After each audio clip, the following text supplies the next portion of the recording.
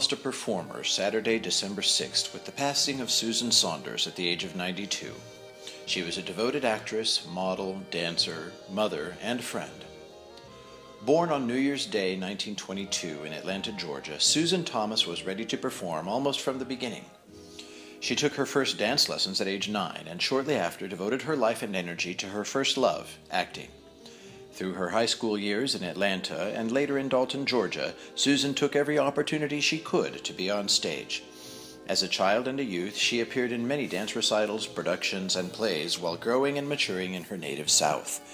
Before the age of 20, she had already earned several accolades, including a letter of commendation for her one woman rendition of Gone with the Wind in Atlanta. In later years, Susan moved to Washington, D.C., where she attended the Marjorie Webster School for Broadcasting. Radio being the technology of the day, Susan developed her presentational skills in front of the microphone. There, she also got her first glimpse of life in front of a camera with the newly emerging technology of television.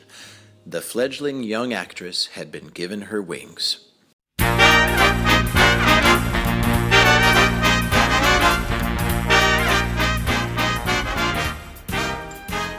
At age 19, Susan decided to explore the magical world of movies.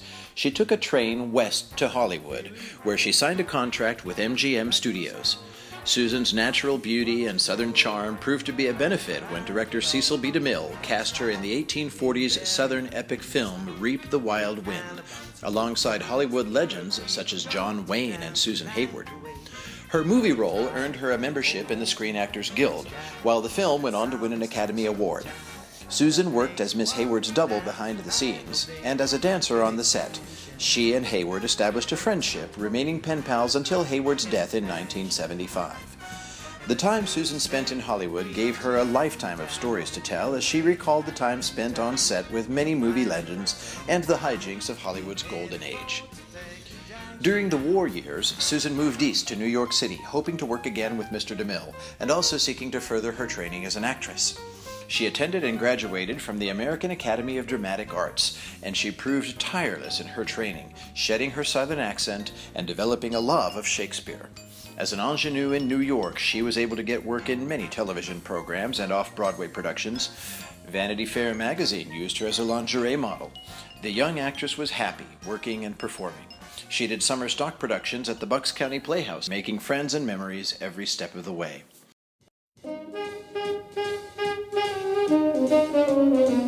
Still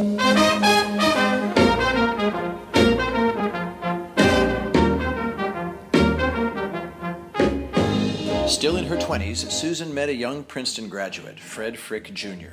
The couple dated and eventually married. They raised three children while building a lifetime together over more than 30 years. Together, the couple traveled the world, crossing the Panama Canal, seeing the Greek islands, and paddling upriver in the Amazon rainforest. Back home in the U.S., Susan continued acting, sometimes commuting to New York for work, while also performing on stage in Princeton. She faced every new challenge with determination and strength while never losing her classic Southern grace and poise. It was her strength and independent spirit that helped her survive the tragic death of her husband from an automobile accident. Later in life, Susan met Richard G. Saunders.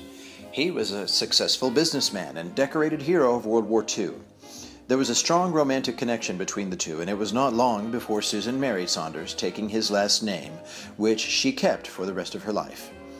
For a time, they lived in Rochester, New York, while Susan continued her acting work. Eventually, the two decided to move south, settling in the suburban community of River Hills near Charlotte, North Carolina, where they remained until tragedy struck the couple in their twilight years. The discovery of a brain tumor forced Susan into emergency surgery. Miraculously, Susan survived, but she forever lost her senses of smell and balance. While managing this new challenge, Richard succumbed to lung cancer with Susan bravely standing at his side. Well in her 70s, she faced life alone. Susan considered her circumstances being both a widow and a cancer survivor. She chose to look at life's positive side. At age 77, Susan took on a new hobby ballroom dancing. Exercise alone did not give her the stimulation she needed, so Susan began a new life of performing. The challenge of moving to music and memorizing patterns gave Susan new energy. Through hard work and intense concentration, Susan was able to regain control of her balance and perform even the most difficult of ballroom dances.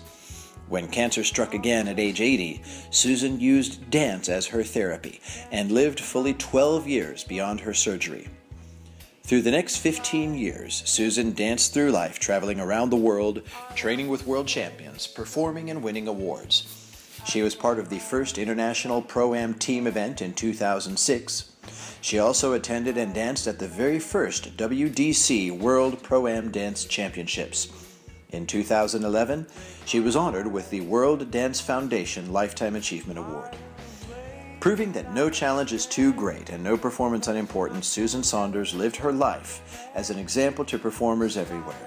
With a happy smile on her face, Susan enjoyed every person she met. Her travels took her to more than 15 nations and four continents. Dancers and performers around the world were proud to know Susan.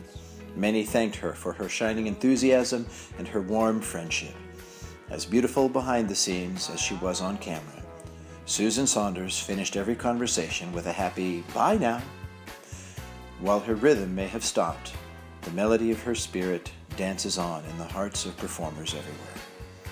Thank you, Susan, for the dances. Bye now.